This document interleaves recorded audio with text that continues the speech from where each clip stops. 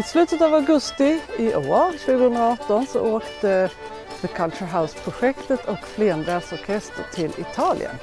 Vi var inbjudna till en kulturfestival som heter Radicamenti 2018 i Mendicino i södra Italien.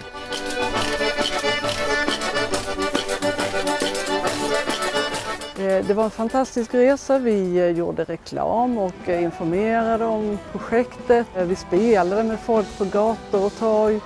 Vi gjorde också en konsert.